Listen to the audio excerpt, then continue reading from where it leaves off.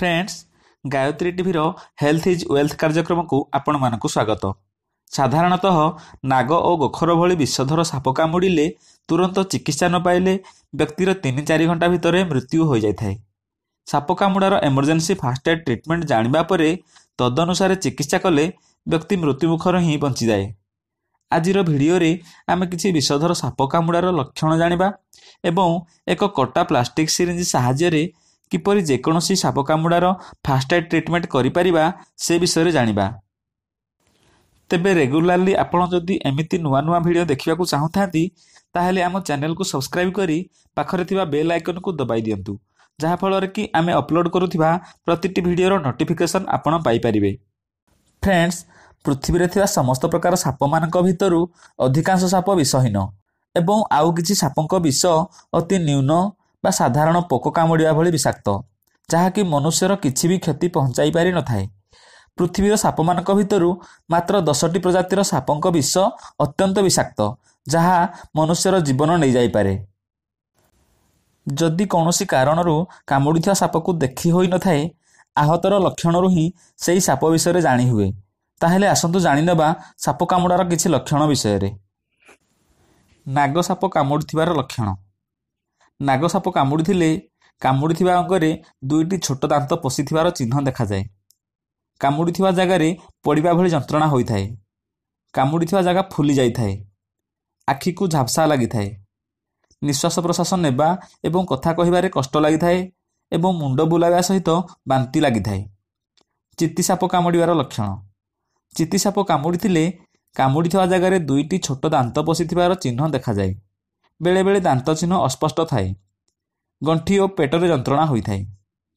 ବଡ଼ ସାପ କାମୁଡ଼ିବାର ଲକ୍ଷଣ। କାମୁଡ଼ିଥିବା ସ୍ଥାନରେ ବଧିରା ଲାଗେ। ପରେ ପରେ କାମୁଡ଼ିଥିବା ଜାଗାରେ ଫଟକା ହୋଇଥାଏ ଏବଂ ରକ୍ତବାନ୍ତି ହୋଇଥାଏ। ସାଧାରଣତଃ ସାପ କାମୁଡ଼ିଲେ ଲୋକମାନେ ଅଜ୍ଞାନତା ଯୋଗୁଁ ଯାହା ନ କରିବା ଉଚିତ ସେହି କାମ କରିଥାନ୍ତି। ତେଣୁ ସାପ କାମୁଡ଼ାର ଏମର୍ଜେନ୍ସି ଟ୍ରିଟମେଣ୍ଟ ଜାଣିବା ଆଗରୁ ପ୍ରଥମେ କ'ଣ କରିବା ଅନୁଚିତ ସେ ବିଷୟରେ କିଛି ଟିପ୍ସ ଜାଣିନେବା। ଟିପ୍ସ ନମ୍ବର ୱାନ୍ ସାପ କାମୁଡ଼ିଥିବା ଜାଗାରେ କିମ୍ବା ଉପରକୁ ଦୌଡ଼ିରେ ବାନ୍ଧନ୍ତୁ ନାହିଁ।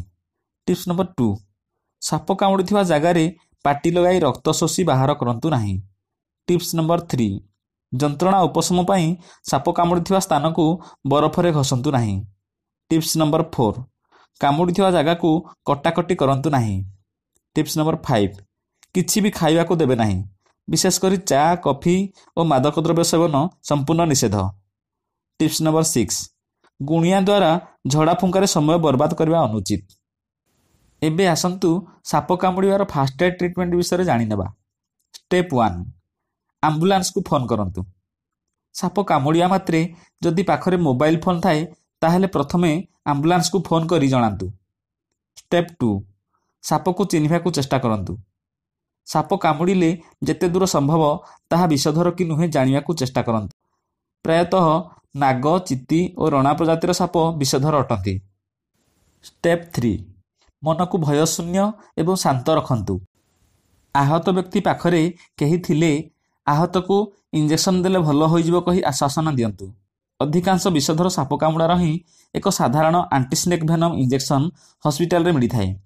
ତେଣୁ ଆହତ ଆଦୌ ବିଚଳିତ ତଥା ଭୟ ନକରି ମନକୁ ଶାନ୍ତ ରଖିବାକୁ ଚେଷ୍ଟା କରନ୍ତୁ। କାରଣ ଭୟଭୀତ ଏବଂ ବିଚଳିତ ହେଲେ ହୃତ୍ପିଣ୍ଡର ଗତି ବଢ଼ିବା ସହିତ ବିଷ ମଧ୍ୟ ବହୁ ଶୀଘ୍ର ଶରୀର ସାରା ଖେଳେଇ ଯିବାର ସମ୍ଭାବନା ଥାଏ। ଷ୍ଟେପ୍ ଫୋର୍ ଚିପା ପୋଷାକ ଖୋଲି ଦିଅନ୍ତୁ। ଆହତ ବ୍ୟକ୍ତିର ଦେହରୁ କିମ୍ବା କାମୁଡ଼ିଥିବା ଜାଗାରୁ ଚିପା ପୋଷାକ ଖୋଲି ଦିଅନ୍ତୁ। ଷ୍ଟେପ୍ ଫାଇଭ୍ ରୋଗୀକୁ ନଶୁଆଇ ବସାଇ ଦିଅନ୍ତୁ। ସବୁବେଳେ ସାପ କାମୁଡ଼ିଥିବା ଜାଗାଟି ରୋଗୀର ହାର୍ଟ ତଳକୁ ରହିବା ଉଚିତ। ଏହାଦ୍ୱାରା ବିଷ ହୃତ୍ପିଣ୍ଡକୁ ପହଞ୍ଚିବାରେ ବିଳମ୍ବ ହୋଇଥାଏ। ତେଣୁ ରୋଗୀକୁ ଆଦୌ ଶୁଆଇବା ଉଚିତ ନୁହେଁ। ରୋଗୀ ଚାଲିବା ଦୌଡ଼ିବା କିମ୍ବା କୌଣସି ପ୍ରକାର ପରିଶ୍ରମ କରିବା ଅନୁଚିତ। ନଚେତ୍ ହୃତ୍ପିଣ୍ଡର ଗତି ବଢ଼ି ବିଷ ଶରୀର ସାରା ଶୀଘ୍ର ଖେଳିଯିବ। ତେଣୁ ରୋଗୀ ଆରାମଦାୟକ ଅବସ୍ଥାରେ ବସିବା ଉଚିତ। Step six. ପ୍ଲାଷ୍ଟିକ୍ ସିରିଞ୍ଜ ଦ୍ୱାରା ଭ୍ୟାକ୍ୟୁମ୍ ପ୍ରେସର ଦିଅନ୍ତୁ।